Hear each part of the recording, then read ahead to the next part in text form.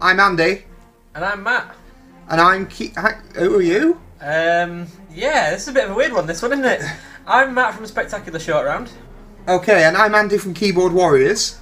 And today we're here to do a Iron Man comparison. A lot of you liked the Thor comparison that we recently did for the Thor Gladiator version, uh, which uh, Matt now owns. It's now his Thor. And basically, what we wanted to do is talk about the most recent Iron Man that Matt's got, which is the amazing Mark 6 and do a very very similar comparison you know just talking about the differences in the armors the perspectives. Um, also this is me filming today so i apologize for the possible seasickness for us not having joe. So i'm going to try and do the best camera work i possibly can. Okay so let's just pull back and you'll be able to see some blurry iron men that are now coming into focus um, these are both Hot Toys Mark 6 Iron Men. Matt, talk me through this. Which is yours? So, this one's the brand new Mark 6 that came out about a month ago, I want to say. Yep. Um, he's all die cast. Um, as you can see, he's noticeably taller than the last incarnation of him. The one on the left, Andy, how old is that figure now? I can't remember. I'm gonna hazard a guess at something along the lines of seven-ish years. Yes, I would say six, Um, seven. I he was my third hot toy I ordered, but second hot toy I received. Back in the day when I was planning to have a mixed Avengers team and have no more than six hot toys. You remember that, and you remember the 88 on display video we did recently? Yeah, that plan didn't pan out. together, did? No, no, didn't at all. And then I became an enabler and started getting other people to buy them. So yeah, that was a thing. Um, now, I actually feel that the Mark 7, sorry, the Mark 6 even, on the left holds up really well. I mean, don't get me wrong, it isn't as awesome as, you know, this clearly is. This is amazing, and I absolutely love it, and I'm a little bit jealous. But I'm surprised at how well it holds up in comparison. I mean, you were saying something similar, Matt. Yeah, definitely. Um, the, the thing where the, the new one shines is obviously the die cast. Yeah. It's a little bit taller in scale compared to the kind of previous run we had, but then again, as you were saying to me earlier, the, the scales have kind of been up and down, uh, with the Iron Mans especially, over the last kind of 10 years maybe. Um, yeah, the, the, the plastic one doesn't shine as much, but I think it's as well, you, you get these bits of like weathering and things that you've got in, in him, and it doesn't have as much of it uh, on the, the old plastic one as well, so it looks a little bit more toyish by comparison, but definitely I've seen a lot of people bashing on that figure compared to this one, and uh, the the the, new, the old one doesn't stand the test of time. I will say, under the light, this looks far better than it does in real life, and I have to be super clear about that. The lights really do make the reflections and things like that shine to make it look less plasticky. Uh, one other thing I just want to point out the height difference thing. I've deliberately got two stands because I know how much you all like to shout at me about, oh, the stand was a millimetre out or something like that. So, to be super clear, these figures are this height because they've got two equal stands on there. I think the major proportion change um, is definitely in the head sculpt as well as the upper chest area. I think you can see the sort of thinner looking Iron Man head here, um, which I think was an evolution of some of the very early Iron Man figures that didn't really look like a person could fit in them.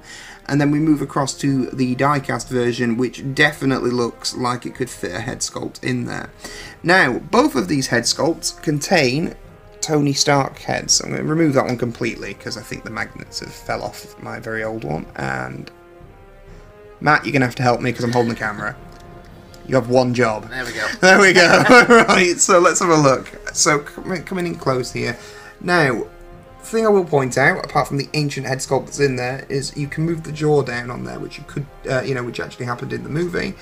I don't think the Robert Downey likeness is bad. This is obviously like a cut down version of that Mark IV head sculpt that we actually quite like and does stand the test of time.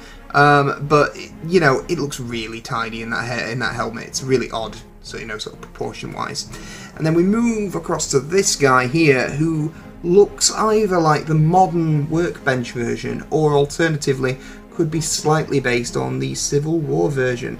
Now the jaw doesn't move down on this one, Um, but you can definitely see that it looks far more in proportion and like it should fit that character. I also really like what they've done with the hairline here. You can see like little strands of hair. Yeah, I like You know, sort of of there and there. back in it. Um, and whereas we go back to this guy and it looks like he's had a buzz cut.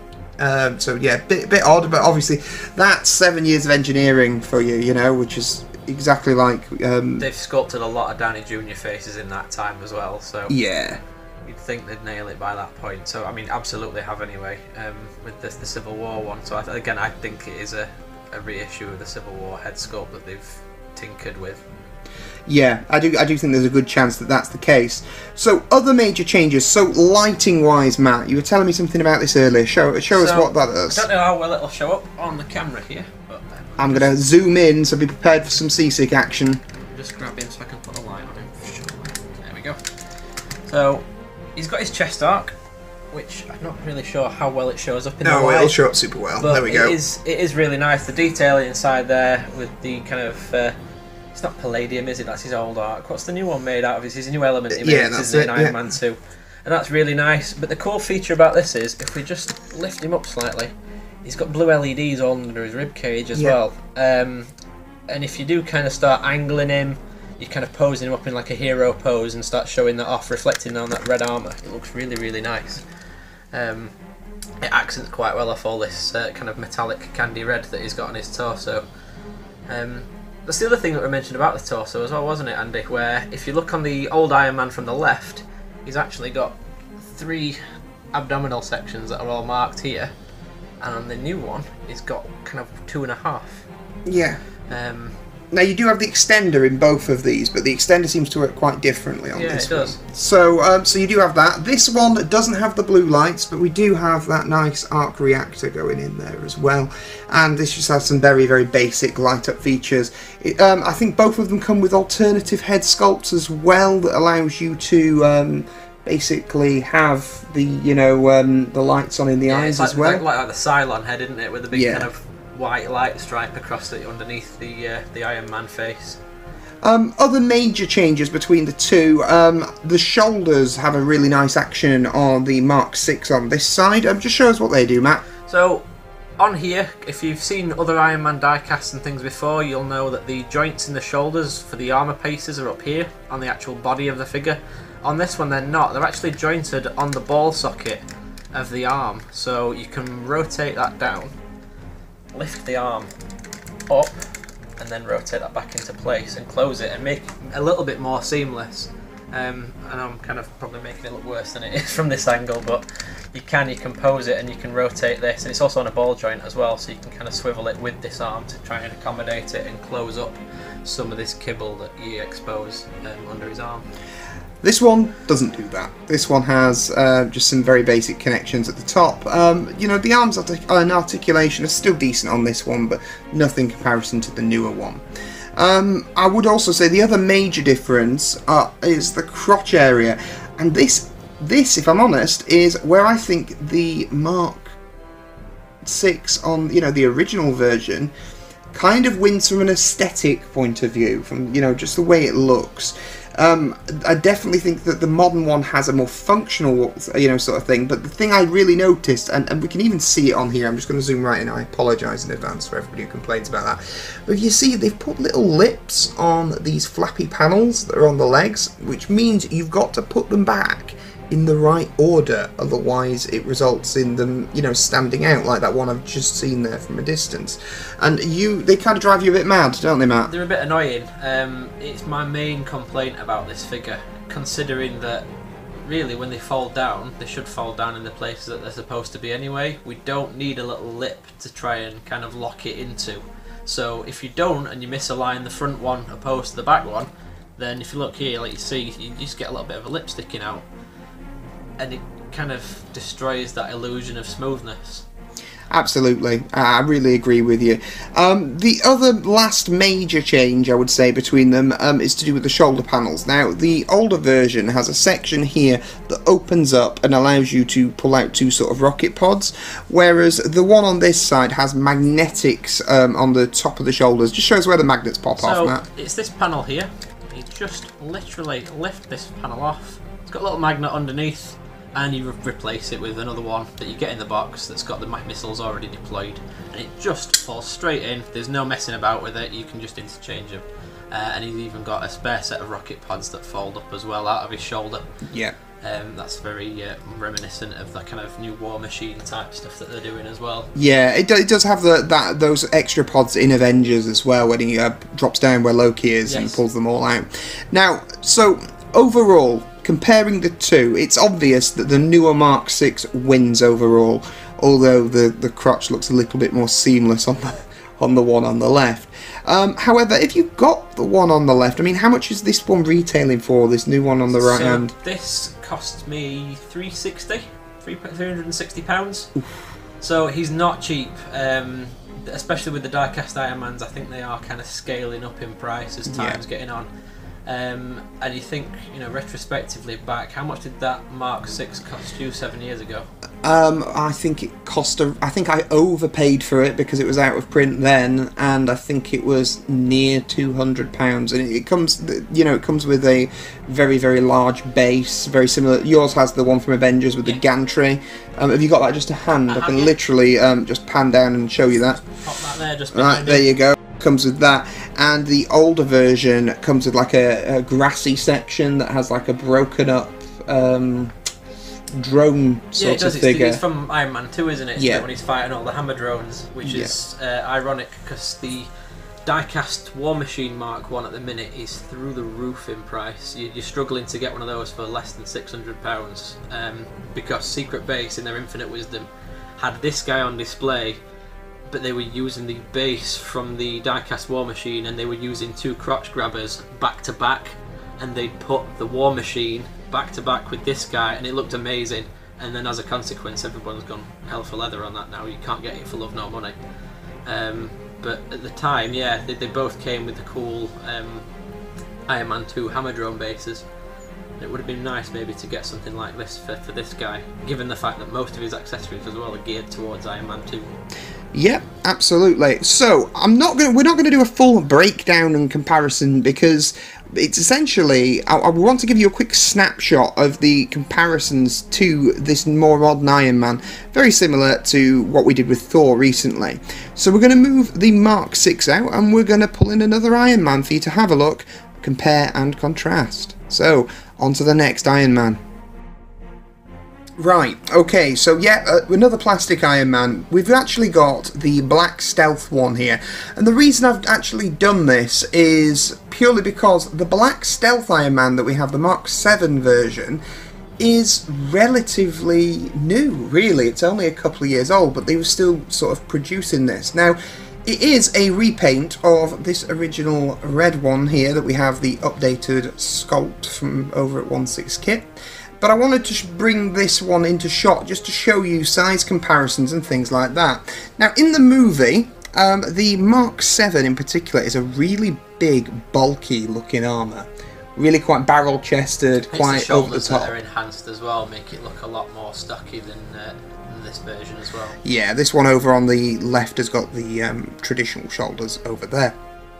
However, as you can see, the Mark 6 here in proportion wise, um, it's a lot bigger than even this recent Mark 7 in plastic. So that is something you want to bear in mind comparatively if you are looking at purchasing sort of Iron Men to stand together. That this Mark 6 is going to be, you know, relatively out of scale with some of the older Iron Man when you're considering it. Now, the reason that we've got the two over on the left rather than the one is because neither of these are stock, and I just wanted you to be able to see the large shoulders because we've actually added the Python shoulders to the black stealth in the middle, and you'll see that I've also added red cellophane um, to actually have the red arc reactor and red eyes on the stealth in the middle.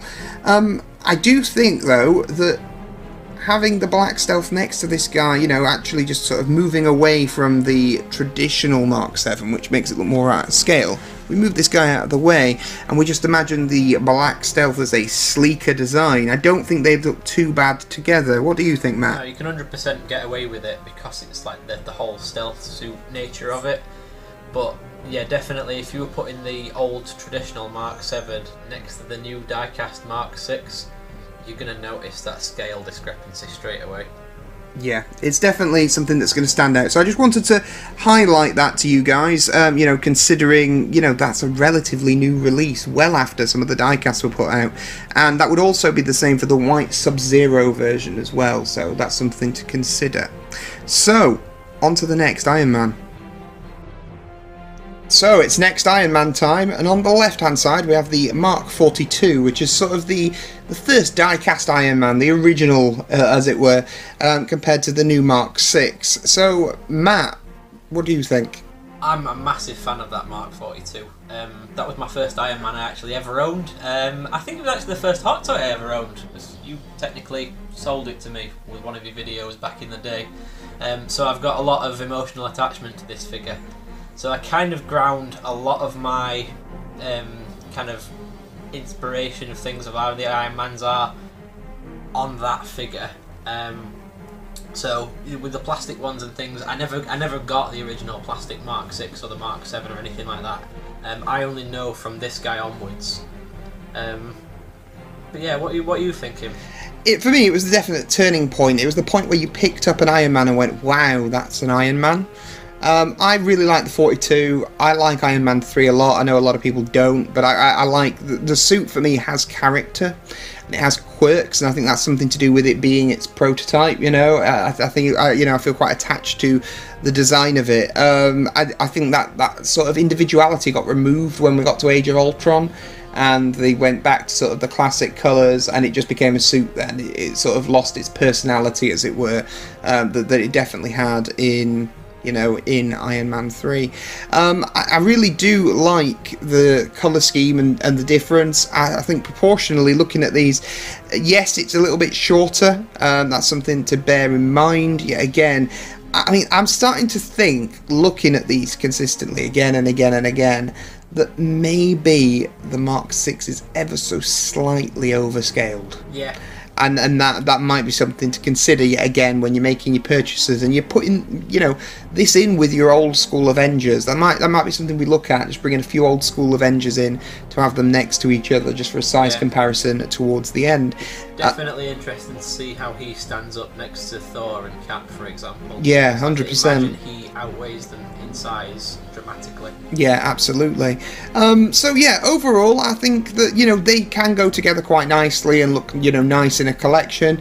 Um, the both of these come with battle damage parts, so um, you know the Mark 42 has like shoulders and a chest piece and a face cover and all sorts of bits that come off and so does this one on the right hand side so we've got that as well. Um, overall quite decent figures. I don't think they look out of place together. So let's have a quick look at the next Iron Man Okay, so nearing the end, Iron Man wise, and we've got the Mark 45, which is the uh, bug eyed appearance from the Age of Ultron movie towards the end, next to the new Mark 6, and the height difference is negligible in this. It's maybe, uh, you know, sort of a millimetre or two. Not a great deal. However, the 45 has some really, really nice detailing on it and has a really unique looking design in comparison to a lot of the other Iron Man figures, um, particularly the head sculpt. I'm just going to zoom in on that just to show you what I mean. Uh, you know, it's a very, very different, oh, very cartoony, over stylized, almost like manga I think this was their first punt at doing a bleeding edge armor design. Yeah. And you definitely get that if you look across the arms and the legs where they've got like kind of the rippling muscle texture in them. Yeah. It's uh, it very much evokes the the bleeding edge armor, which then they subsequently then redid for Infinity War. Yeah, definitely. I mean, it's a really nice looking figure. I really do like the 45. I think the major quibble with this one from the design point of view is the shoulders. I think if you don't nail it with the shoulders, you get gaps. Like you see where I'm pulling the camera down deliberately to an angle where it looks awkward and you can see the gaps, you know, through the back of the armour. I think that's the major thing with this one. I mean, how, how do you feel about those, Matt? No, it's, it's definitely the case. Again, I think it's part of that kind of almost skin tight design that they've gone for, and they've purposely made the shoulders hug really close to the body and if you start posing it and those shoulders move apart, you get a lot of exposed kind of underarm showing there, um, and it ruins the illusion of the figure. definitely. So overall, yeah, again for me and for my money, I would say that I like the six better. Particularly that really cherry red is really standing out in comparison. Um, I would say that the the red on the, you know, it's, it's looking like a basic red car paint under our lights. That's the best way of Yeah, describing it. It's like Ferrari red. Yeah. And, and not Iron Man, that kind of, like you said, that kind of candied red that Iron Man has. Yeah. Um, in fact, he even calls it, he calls it hot rod red, doesn't he? Yeah, something he like that. that suit. Um, So there you go, height comparison between them two. Um, that's about it. So we're going to move on to the last major Iron Man that we're going to look at. We're going to have the Mark 46 versus the Mark 6. And our final, final Iron Man is the Mark 46, which I absolutely adore. It's my favourite currently of the Iron Man figures, and this is them next to each other. You'll see that the 46 is ever so slightly taller. It's not a great deal, but it is there. But he definitely looks like, you know, more of a bulky badass, and that's something that really stands out for me. Matt, how do you feel about these ones side by side? Because I know you own both of them yeah, as well. the 46 for me was my holy grail. That was the one that I've been after for a while, and I, I love it. Um, I think it, it nails what the 45 doesn't nail, um, especially in those that, that kind of shoulder joint situation there. And again, the 45 doesn't come with a head sculpt either of a Tony Stark portrait, whereas the 46 comes with that amazing new kind of battle damaged Tony with the black eye. Um, I love both. I'm still biased towards the 46 though, if I'm honest. I, I totally agree. Now, I, I think the the thing that stands out to me as well is the gold is more gold, and that's really weird to say. I mean, you probably notice it looks far more reflective in the camera. I'm just going to actually move in, see if we can take some of the sheen off that light and make you all seasick again. There we go. Uh, I just feel that the gold is it's got like far more, you know, far deeper layers, and there's lots of like blacks and, and shades in there, which is really cool. Whereas just moving over to the Mark Six, we we've just got a very flat looking gold in comparison. So I mean. Out of all these Iron Men, and the majority that we've shown today have been mine, with the exception of the 6 and the 45, um, which do you have? Well, that's an interesting one because it really depends where your preference is and what other figures that you have. Um, I think what we're going to need to do to answer that final question is just pull some Avengers in to quickly show them next to um, that Mark 6 before we talk about this final decision. Right, so as final thoughts about the old Mark 6 and its scale, this is him next to the Avengers um, guys. We put them all on a similar stand, and as you can see, he's definitely, you know, way taller than Captain America. So this answers my final question about feeling that the Mark 6 in particular is, is overscaled. I mean, if you're going to use this cap, with him, you're probably going to want to whack some thigh extenders, not thigh extenders, you're going to want to whack some leg extenders in there. That's definitely what you're going to want to do. And perhaps Thor, you know, it's sort of not too bad. I don't think the height difference between him and Iron Man, but I still perhaps prefer Thor a little bit taller as well. Um, today, after all these Iron Men, after everything that we've looked at, I think the the main thing that stood out to me is how much I absolutely adore that Mark 46. That is the that is the one that wins out for me. I think the Mark 6 is very good and probably a close second in, in all the Iron Man men that I've seen here. But I, I definitely love the 46 as my preference. Well, how do you feel about yours, Matt? Absolutely. Um, the 6 is lovely, and it is a nice remastering of a classic. Whereas the 46 has got all the kind of modern stuff from a new Iron Man that we like and that the old one didn't really have. Um, no, abs- absolutely, the 46 is the winner for me. I, I, I, do, I don't don't get me wrong. I love the Mark 6. I think the Mark 6, and when it is being remastered, is good. But I think that they've used the Mark 46 to kind of gauge the scale of it as well. And I think that's where it kind of fails a little bit because, as a consequence, it made that Iron Man way taller than what it should be. Yeah, I agree with you completely. So, um, in conclusion, buy a Mark 46 if you can find one for a reasonable price. Uh, but good luck with that because we know that they're a bit hard to find at the moment. And that's exactly the same with most of these diecast Iron Men. The real lesson is pre order, guys. If you need one of these hot toys or you like one of them, pre-order at the point of them going up for pre-order, and you know it's very rare that a hot toy won't sell on unless you're buying Electro from Spider-Man 2, Yeah. which you need to look at your life if you bought that figure anyway. Um, but overall, I, I would say that I'm pleasantly surprised by the Mark 6, and having seen it for the first time today, it's nice, but it's also made me reflect on some of the other Iron Men and think, well, actually, I quite like, you know, even our original Mark 6 a lot more than I thought I did. And it's amazing that when we've done, like the last two of these that we've done, it was the same with Thor.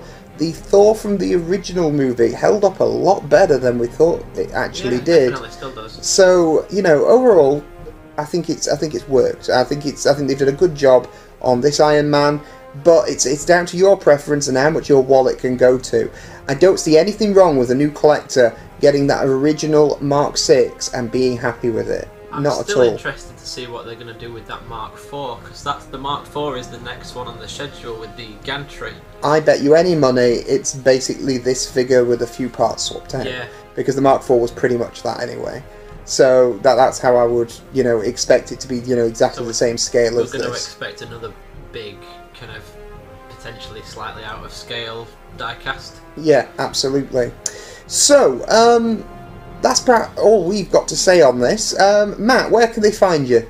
Um, so I'm the spectacular short round. Um, I've only just recently started about a month ago, so I might be quite kind of low down in terms of when you search for things. But search for my channel and you'll find me. Uh, I've got quite a few up. I've recently reviewed the Mark 6 on his own anyway, um, and I'm probably going to do one for the Mark 46. As, as old as he is, he is a newer figure to me, so it'd be quite nice to uh, to kind of go over him. Yeah. So that's where you can find him, and you can also find a direct link in our description. We, I have about six reviews to fill with Joe. Everything from a knockoff Infinity Gauntlet, some Crazy Toys stuff, a Kingpin from Toys Era or Toys Works or whatever they're calling themselves this week, and some other figures as well. So there's so much I've got to do, and yet then Yondu's been released, so he's going to turn up next week as well.